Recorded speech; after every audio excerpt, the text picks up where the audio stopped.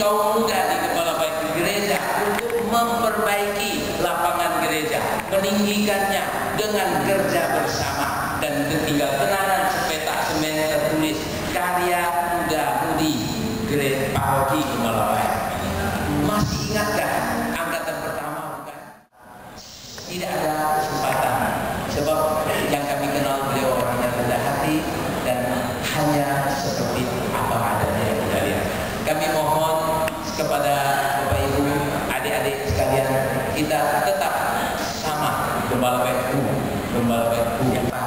yang membimbing pasal kita yang hadir di sini.